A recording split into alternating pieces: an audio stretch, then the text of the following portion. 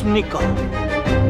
금상은 지금 자경루라는 물시계를 백성들에게 공중시계로 내주려고 술수를 부리고 있네.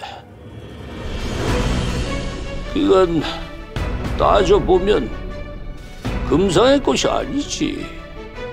통치자인 우리 사대부의 것이지. 헌데 이도가 마치 제 것이냐 백성들에게 알랑대며 함부로 퍼주려는 흉한 의도를 가지고 있는 게지. 주상 전하의 피를 함부로 입에 올리시다니 반역입니다.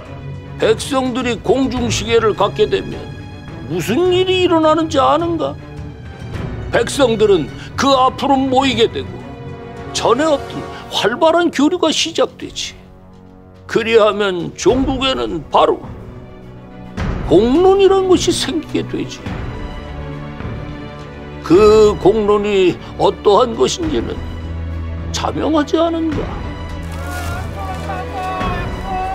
통치자를 성토하는 공론, 지배자에 반대하며 피지배자들의 이익을 추구하는 공론, 이런 것들이 바로 공중시계가 놓인 마을의 중심에서 비롯되는 것이네. 어리석은 금상은 그것이 곧 왕의 힘이 커지는 것이라고 착각하고 있네. 사대부를 누르고 백성과 소통하는 것이라고. 그 소통 끝에는 왕권의 몰락이 있다는 것을 꿈에도 모르고 말이세.